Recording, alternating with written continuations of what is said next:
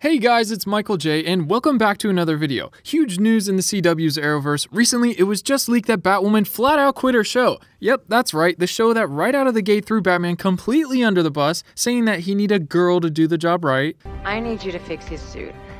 The suit is literal perfection. It will be. When it fits a woman.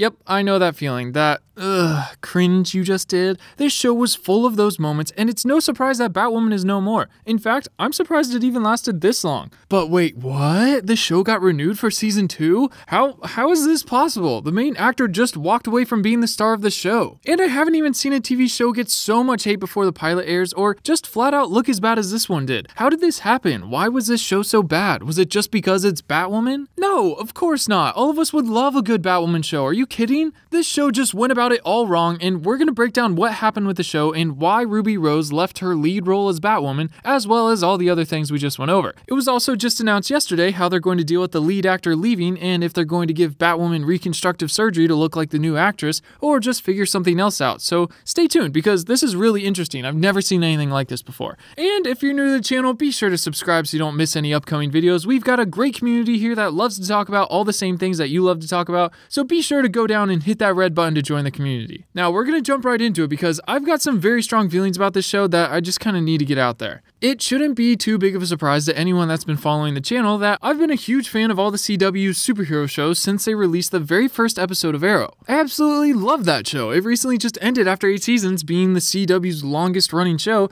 and I also really enjoyed The Flash, Supergirl, Gotham, and Legends of Tomorrow. I love how they introduce new characters and build new shows around them, that is, if they're accepted well. We've got a few more shows rumored to be in production, actually, speaking of. There's supposed to be a show based around Oliver Queen's daughter, Mia Queen, in the works, as well as talks of a Superman and Lois show they're working on. So when I saw the trailer for the crossover episode that would introduce Batwoman, you would think super awesome, new hero, right? Well, the actress that was playing her, I know can be hard to like. She's fine and all, great actress, but she plays a lot of characters that are very easy to dislike. First impression is usually snooty attitude, so that made me cautious, but just the thought of Batwoman actually being in the crossover sounded so cool, such a cool thing to introduce into the Arrowverse at this time, but little did I know her character would literally dig her grave before the first episode even came out. After they dropped the first trailer, they got so much backlash that Ruby Rose flat out quit Twitter. And if you've been following me for a while, you know that I really don't like this. Actors getting hate for characters they play in TV shows and movies is so wrong, and this should never be acceptable. Because while others aren't affected by it, some of these actors get really affected by all this hate, and no one deserves that. They are literally just doing their job. People are paying them to act a certain way and say these things and portray this character you see on screen. It's completely fine to dislike a character, but take your opinions to the writers, the people who created her character. Unfortunately, this drove her off of Twitter last August when the first episode of the show didn't even come out until October, two months later. It doesn't take a genius to see things aren't looking too great for the show already. And real quick, did you know that only 8% of my viewers are subscribed? That's crazy. Come on, guys. What are you doing? If you're not subscribed and you're watching and enjoying the videos, please subscribe. Help the channel reach our goal of hitting 200k by the end of August. But real quick, biggest shout out to that 8% though. Thank you so much for your wonderful support. It's because of you guys that I get to do this, so thank you. I appreciate it. Now, I'm sure you're saying, Michael, aren't you going to tell us why everyone hated Batwoman so bad? Yes. The suit is literal perfection. It will be. When it fits a woman. Imagine this times 10. This show was so quick to take Batman and literally throw him under a fleet of buses. They did him so dirty in this series, and I think that's gotta be my number one problem with the show. Instead of just telling the audience that Batman was away training or dealing with the League of Assassins or just doing anything somewhere else, they went out of their way to rag on Batman and go on and on about how he gave up on Gotham and gave up on the people of Gotham and how he doesn't care anymore and that he left those girls to die. The show takes every chance it gets to say that Batman sucks because he's a boy and they need a girl to save everybody and do the job right. Now, first off, that just doesn't sound like Batman. Giving up on Gotham? Gotham is his main priority. That's why he became the Bat. He's not going anywhere. They did the same thing the new Star Wars movies did to Luke Skywalker. Oh, Luke senses a little bit of darkness in young Ben Solo. Well, guess that means I should kill him in his sleep. What? No, this is Luke Skywalker we're talking about. He saw the tiniest sliver of light in the baddest villain in all of film history, Darth Vader, and laid down his weapon and refused to fight him.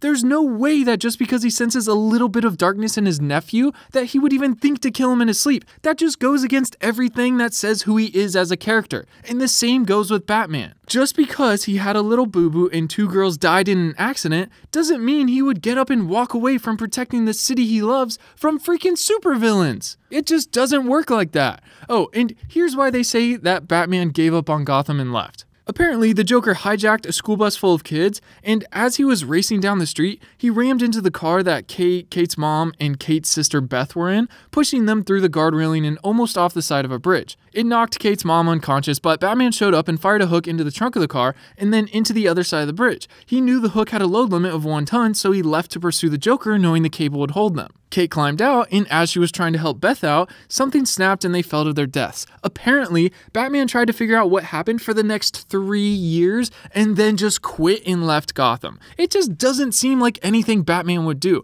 I think they figured out it was something stupid like a manufacturing error that the steel in the trunk had or something. It's just so shallow of a reason for Batman to not be in the show. They could have easily gone with anything else and it would have been totally better. And the show just isn't afraid to let characters tell you what's going on or who they are, even when it comes completely out of left field or it's just something that's flat out stupid. Hello? Kate, it's Mary. Your stepsister? Mary. Our parents have been married for over a decade. I know who you are. Oh, okay. Don't shoot!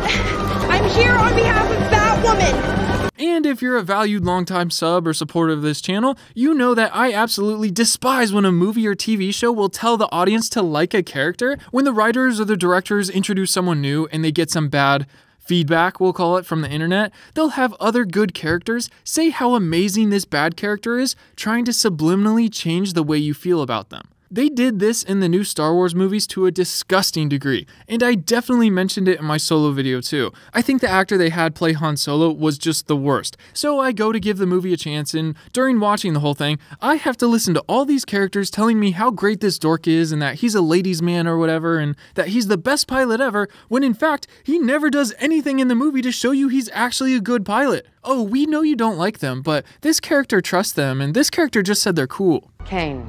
Kate Kane.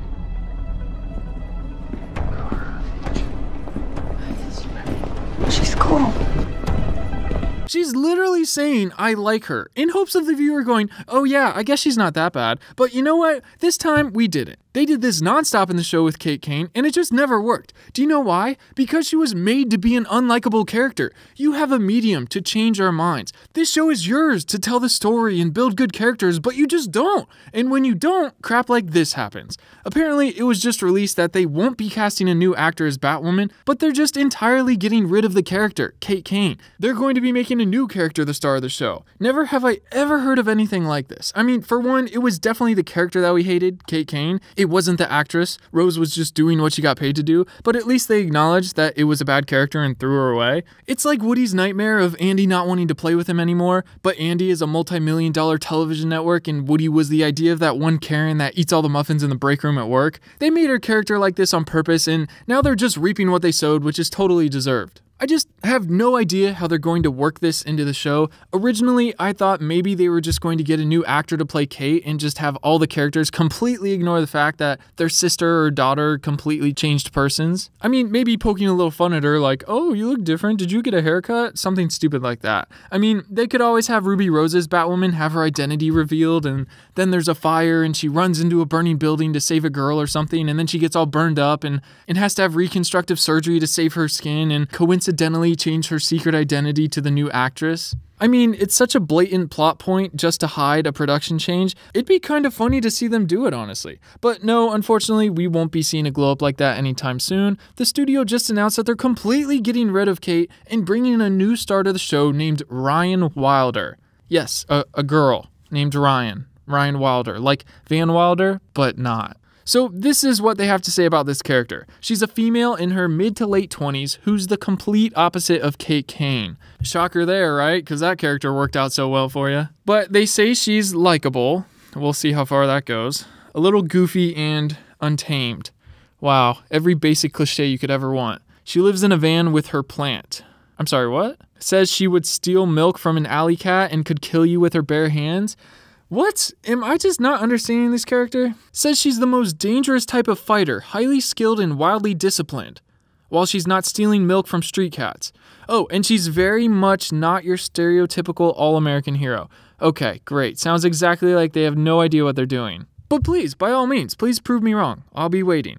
There's just so many issues with this show. I'm not surprised Rose walked away. Apparently, it was because it was too much of a workload for her. Being a film actress, working as a TV show actor, those hours are just much longer and it limits your availability for future movies. And doing this means not doing anything but this for the next eight years. If the show's not trash, that is. Personally, I think it was a mix of a few other major things, like not wanting to be the face of a character that everyone hated for almost a decade, but you know, that's just me. I hope you enjoyed the video. Please consider subscribing to help the channel. Join the 8%. Thank you so much for watching. I really enjoyed making this video for how much I dislike the show. I think maybe it's because I'm talking about something I don't like, which I think is fun to do. I love picking at movies. Maybe I'll try this a little more sometime. Let me know what you guys think. Go watch one of these other videos. Please, please stay safe. I appreciate you spending 10 minutes of your day with me. And until next time, I will see you in the comments. Peace.